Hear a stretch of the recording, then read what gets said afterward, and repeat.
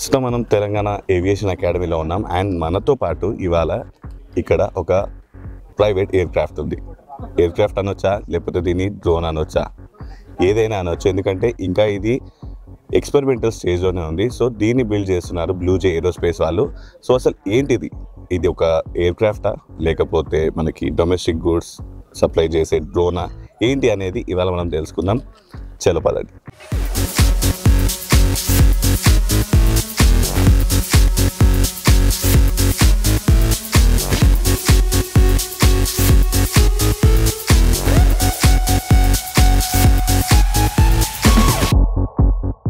So ప్రస్తుతానికి మనతో పాటు కౌంటర్ అమర్దీప్ గారు ఉన్నారు. సో వారిని అడిగి తెలుసుకుందాము. అసలు ఇది నిర్మాణ దశలో ఎలా సాధ్యమైంది? అండ్ ఇది ఎప్పటి వరకు మనకి అందుబాటులోకి రాబోతుంది?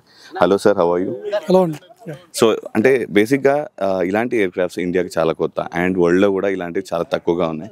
So first what made you to think about bringing this to our market I think ఇదంతా ఎట్లా అంటే అసలు ట్రాన్స్పోర్టేషన్ అనేది ఎలాగ ఫాస్ట్ చేయాలన్నది హోల్ ఐడియా అక్కడ స్టార్ట్ అయిందండి.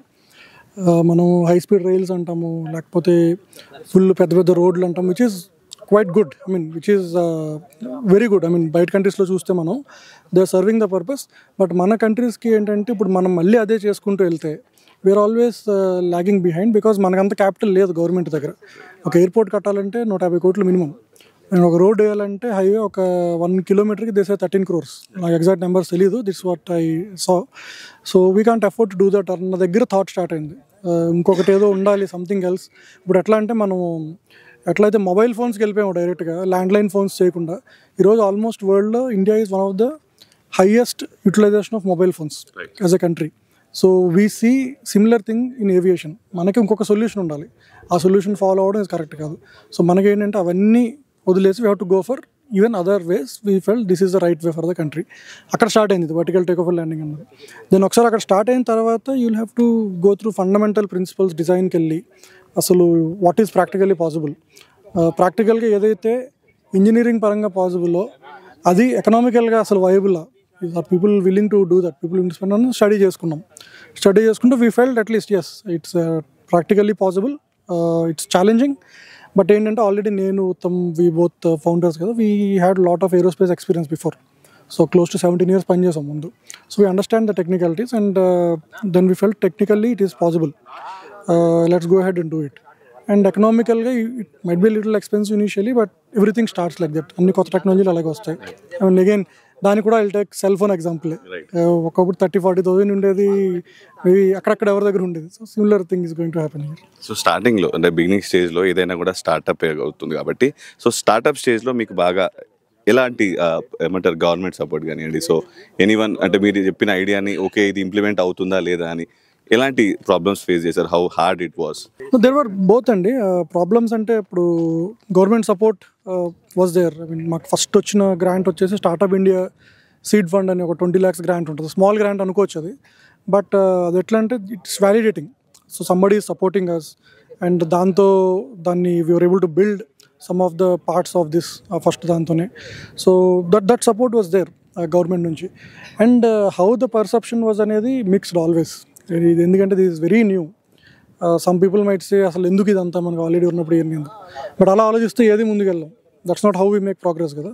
అండ్ మాకు ఇంకొక థాట్ ఏంటంటే ఎవరు ఎన్ని చెప్పినా ఇది ఇస్ హ్యాపెనింగ్ గ్లోబల్గా అవుతున్నాయి. మనం చేయకపోతే ఇంకోళ్ళు ఎవరు వస్తారు. సో ఇప్పుడు మీరు ఆన్లైన్ డెలివరీలు కావచ్చు లేకపోతే other analogy we think is మన ఆటోమేటిక్ కార్ షిఫ్ట్లు కావచ్చు ఇవన్నీ మన ఇండియాకి రియల్ ప్రాబ్లమ్స్ కానీ ఎక్కడో సాల్వ్ అయిపోయి మనకు వచ్చినాయి ఫస్ట్ మన దగ్గర ఎందుకు రావు సొల్యూషన్స్ అన్నది మా thought so there are some opposition but we felt that's thought process of any new thing ఏదైనా కొత్త చేయాలంటే we should be prepare to take that because అందరూ చూడలేరు వాట్ ఈస్ ఫ్యూచర్ అనేది. So we believe this is the right thing let's put all our efforts and see that will make it happen so ఫస్ట్లో initial capital ఎంత అయింది sir and మొత్తం ఓవరాల్గా ప్రస్తుతానికి ఈ క్రాఫ్ట్కి సో మొత్తం ఇనిషియల్ క్యాపిటల్ ఎంత అయింది? And how many efforts have been put and ఎంతమంది టీమ్స్ మొత్తం పనిచేశారు?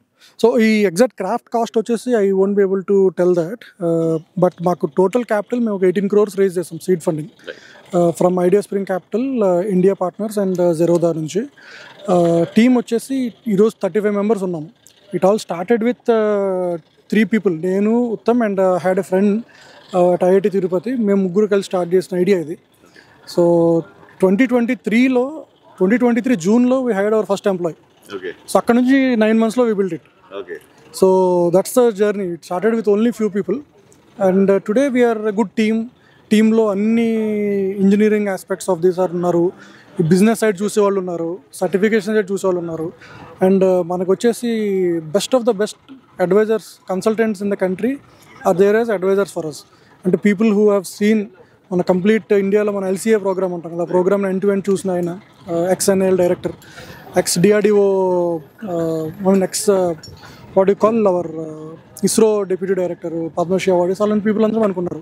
You're able to build a very strong team ఇప్పుడు ప్రస్తుతానికి బిల్డ్ చేశారు and it is fine and already experimental stage అంతా అయిపోయింది. సో ఎప్పటి వరకు ఇది ఏమంటారు యూజెస్కి రావచ్చు? And what kind of uses you are just thinking about that ఇది commercialisation is twenty twenty six అండి టార్గెట్ అండ్ యూస్ కేసెస్ వచ్చి for cargo air aircraft building it will be ఇప్పుడు కొన్ని ఏరియాస్లో రిమోట్ ఏరియాస్ ఉంటాయి.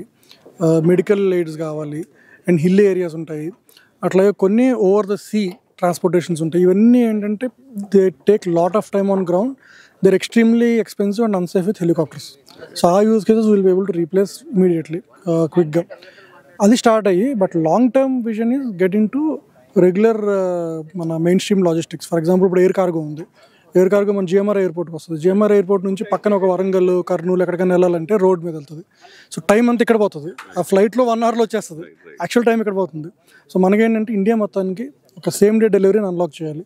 సేమ్ డే కూడా morning వాళ్ళు book చేసుకుంటే మనకి ఆఫ్టర్నూన్కి వచ్చేయాలి. So that's the whole vision for cargo one finally and we'll enable that ఇప్పుడు మన ఎయిర్పోర్ట్ నుంచి డైరెక్ట్గా ఫ్లై చేస్తాం. ఓకే యా సో అంటే ఒకవేళ నిజంగానే ఇది యూజర్స్కి వచ్చిన తర్వాత సో ఒక కాస్టింగ్ అనేది ఎలా పెడదాం అనుకుంటున్నారు? So how different you would be from the other cargos costing వచ్చేసి we're arriving at that costing exactly I mean when we have exact numbers will be happy to inform and reveal to you guys but ఇప్పుడు ఎట్లా అంటే this should not be more expensive then air cargo it should be within air cargo range అన్నది మా target so we're pricing it accordingly so we don't think will be cheaper then ground that is not we're targeting also but air cargo రేట్లోనే we want to price it and ఇంకొకటి ఏంటంటే sir ఇలాంటివి ఎప్పుడైతే బేసిక్గా బయట మార్కెట్లోకి వస్తాయో చాలా మంది ఇవి బై చేయడానికి చాలా ఇష్టపడుతుంటారు. So whoever it may be any పెద్ద పెద్ద కంపెనీస్ కావచ్చు.